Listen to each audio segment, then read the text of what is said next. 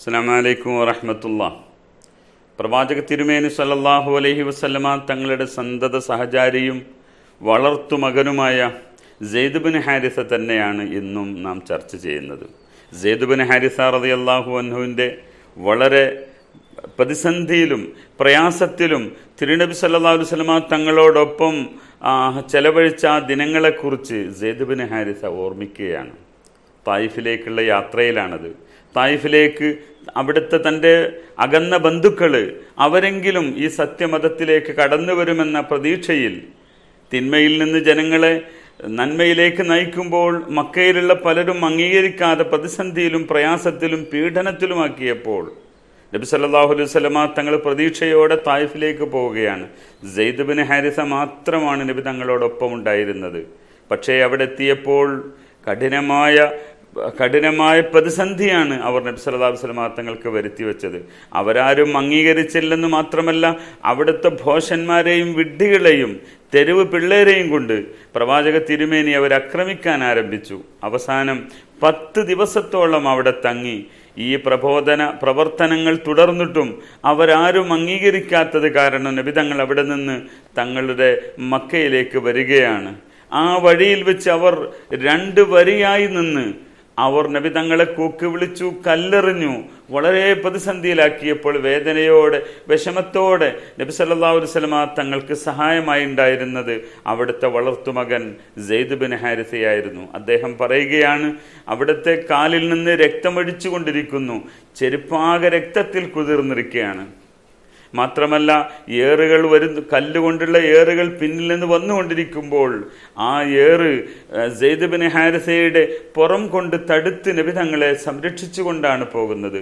മൂന്ന് കിലോമീറ്ററോളം നബി സല്ലല്ലാഹു അലൈഹി വസല്ലമ തങ്ങളെ അവിടുത്തെ ബോഷന്മാരായ വിഡ്ഢികളായ ആളുകൾ പിന്തുടർന്ന് എറിയാൻ തുടങ്ങി എന്ന ആ ഒരു വേദനിച്ചുകൊണ്ട് ആ മകൻ നബി തങ്ങളുടെ കൂടെ ഉണ്ടായിരുന്നു.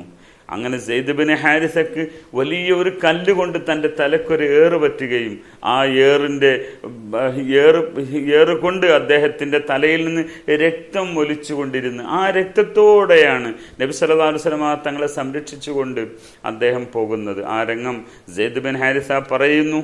അവസാനം പ്രവാചകൻ സിരുമേനി സല്ലല്ലാഹു അലൈഹി വസല്ലമ തങ്ങൾ ഒരു തോട്ടത്തിലേക്ക് ഉത്തുബത്തുബിനു ഷെയ്ബ് അബി റബി റബിയയുടെ തോട്ടത്തിലേക്ക് കടന്നതോടുകൂടെ അവർ പിന്മാറുകയുണ്ടായി. അവിടെ വെച്ചുകൊണ്ട് അള്ളാഹുവിന്റെ റസൂൽ സല്ലല്ലാഹു അലൈഹി വസല്ലം അള്ളാഹുവിനോട് പ്രാർത്ഥിക്കുകയുണ്ടായി. അങ്ങനെ ആ പോക്ക് അവസാനം ഈ മക്കയിലേക്ക് എങ്ങനെ പ്രവേശിക്കും? നബി സല്ലല്ലാഹു അലൈഹി വസല്ലമ തങ്ങളോട് സെയ്ദ് ബിൻ ഹാരിസ ചോദിക്കുന്നുണ്ട് "ഏ, കൈഫ് തുദ്ഖുൽ മക്ക യാ റസൂലല്ലാ? വഹും ഇതായി ജനങ്ങൾ ഇവിടെ നിന്ന് നമ്മെ പുറത്താക്കിയത് അവരറിയുമല്ലോ. എങ്ങനെ നമുക്ക് സുരക്ഷിതമായി മക്കയിൽ പ്രവേശിക്കാമെന്ന്? അള്ളാഹുവിന്റെ റസൂൽ അലൈഹി വസല്ലമ തങ്ങൾ ശാന്തനായിക്കൊണ്ട് പറഞ്ഞു ജെയ്ദുബിന് ബിൻ ഹാരിസ തങ്ങൾ ഭയപ്പെടേണ്ടതില്ല. എല്ലാം അള്ളാഹു പരിഹരിക്കും. എല്ലാത്തിനും റബ്ബൊരു വഴി ഉണ്ടാക്കി തരുമെന്ന്. അങ്ങനെ മക്കയിലെ ജബൽ ഹിറായുടെ ഹെറാ ഗുഹയുടെ ഭാഗത്തുള്ള ജബലന്നൂറിന്റെ പരിസരത്ത് ആണ് അവരെത്തി നിൽക്കുന്നത്. അവിടെയുള്ള രണ്ട് കുടുംബങ്ങളെ ഒന്ന് അഹ്നസുബിന് ഷുറേഖിന്റെയും മറ്റൊന്ന് സുഹൈലുബിന് റബിയയുടെയും അടുക്കലേക്ക്. അവിടുത്തെ ഒരു കാരണവന്മാരാണ് അങ്ങോട്ട് നബി തങ്ങൾ ഒരാളെ പറഞ്ഞയച്ചു. എങ്ങനെയെങ്കിലും ഒരു സുരക്ഷിതത്വം തന്റെ വീട്ടിലേക്ക് എത്തിച്ചേരാൻ അവർക്ക് നൽകാൻ സാധിക്കുമോ എന്ന്. പല കാരണങ്ങളാൽ അവർക്കത് ഏറ്റെടുക്കാൻ പറ്റിയില്ല. അവസാനം മുത്തൈമബിന് അദി എന്ന് പറയുന്ന ഒരു നല്ല മനുഷ്യൻ അദ്ദേഹത്തോട് ആവശ്യപ്പെട്ടപ്പോൾ അദ്ദേഹം പറഞ്ഞു ഞാൻ താങ്കളെ സുരക്ഷിതനാക്കാം. എന്ന് താങ്കളുടെ സുരക്ഷിതത്വം ഞാൻ ഏറ്റെടുത്തിരിക്കുന്നു എന്ന് അവിടുന്ന് പറയുകയും തന്റെ മക്കളോട് ആയുധമണിയാൻ പറഞ്ഞു. അങ്ങനെ പ്രവാചകൻ സല്ലല്ലാഹു അലൈഹി വസല്ലമ തങ്ങളെ നടുവിൽ നിർത്തി. മുത്തഴബിന് അതി എന്ന് പറയുന്ന ആ മനുഷ്യൻ അദ്ദേഹം മുന്നിലുമായി നടന്ന് മക്കയുടെ കവാടത്തിലെത്തിയപ്പോൾ കൈബ ഷെരീഫിലേക്ക് പ്രവേശിച്ച സമയത്ത് അബൂജഹലും ശത്രുക്കളും അവർ എന്തൊക്കെയോ ഗൂഢാലോചന നടത്തിക്കൊണ്ടിരിക്കുന്ന സന്ദർഭത്തിലാണ് അവിടെ എത്തിച്ചേരുന്നത്.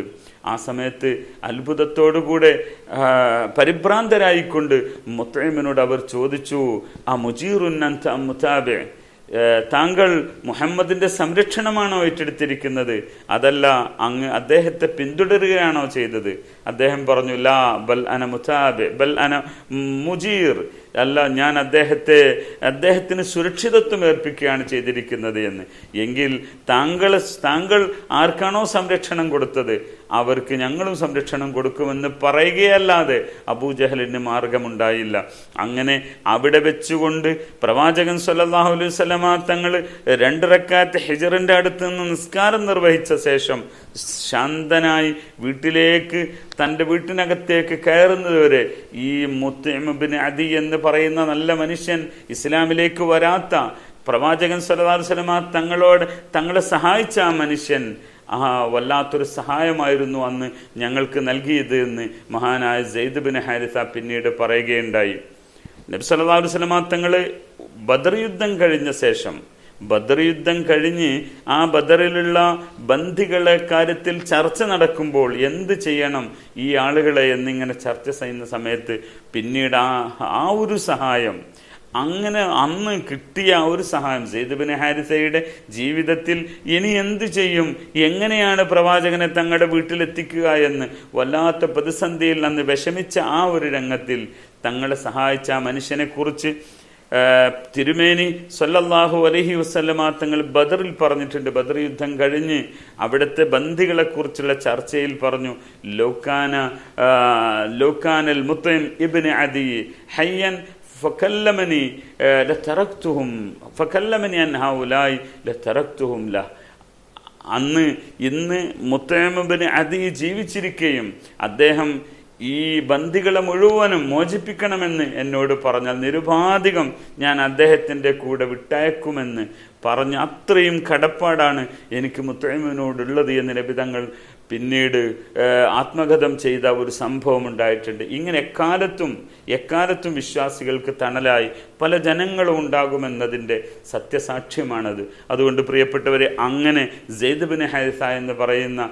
പ്രവാചകൻ തിരുമേനി സർദാസ്ലമാ തങ്ങളെ പിതാവായി തെരഞ്ഞെടുത്ത ആ കുഞ്ഞ് വലുതായി അവസാനം മൂത്തത്തി യുദ്ധത്തിൽ വെച്ച് അള്ളാഹുവിന്റെ മാർഗത്തിൽ രക്തസാക്ഷിത്വം വരിക്കുകയാണ് ഉണ്ടായത്.